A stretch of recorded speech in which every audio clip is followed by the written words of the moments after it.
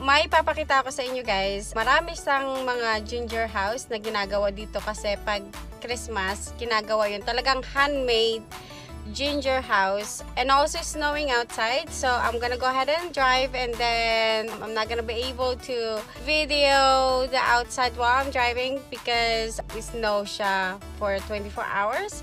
So the road is not gonna be great. Um, it's not gonna be friendly for us. I'm just gonna video it when we get there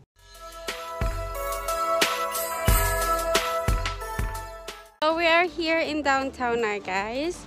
And we're gonna go to this hotel to see the ginger house and we're gonna put some masks. I hate masks but anyway so we're gonna go there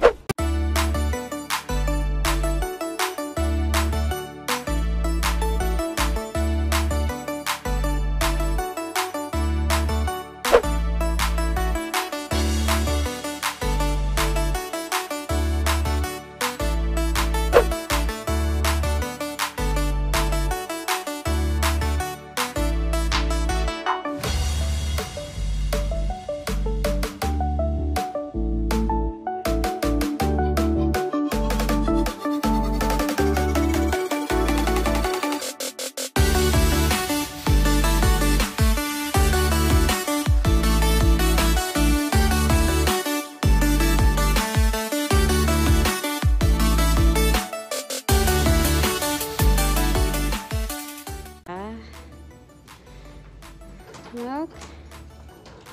Ito yung mga ginger house. Handmade yan, guys.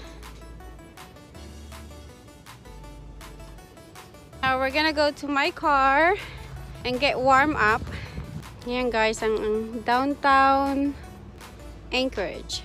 5.30 pa lang. Diyan tayo pumunta. Hindi ako makahinga pag may mask. Kaya, lumalabas ka agad ako. But anyway, ito yung downtown guys namin. It's about 5.24 now. Walang tao, no? Alam mo yung last year ng Christmas, maraming tao dito. This year is kinda sad. So, ayan. Punta tayo sa sasakyan. Wait.